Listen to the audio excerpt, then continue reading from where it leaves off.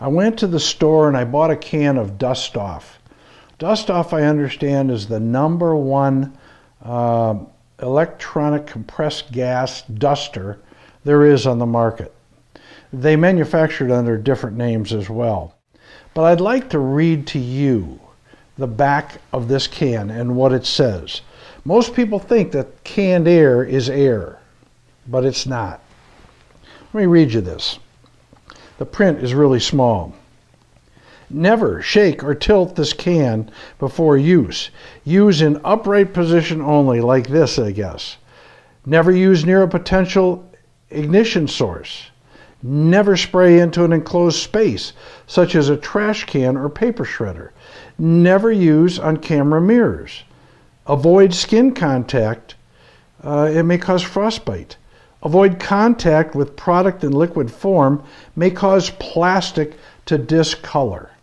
It says, do not shake, do not shake. But it doesn't tell me if I shake this thing what can happen. Maybe it can explode. Now, caution.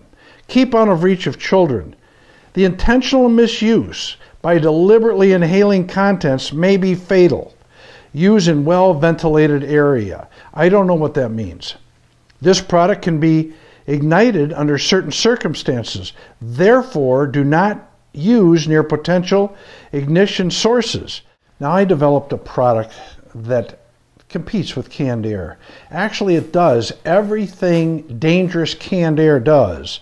By canned air, I mean these dusters, compressed gases, difluoroethane products. My product looks like this. I want you to read all these warning labels on my product.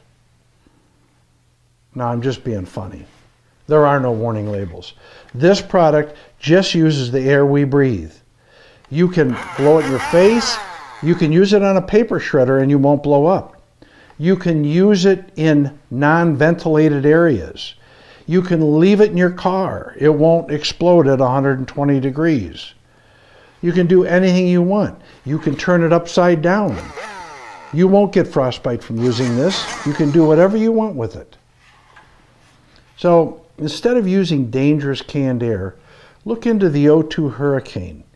This has a force of over 200 miles an hour coming out of this little nozzle. It will run for approximately 15 minutes.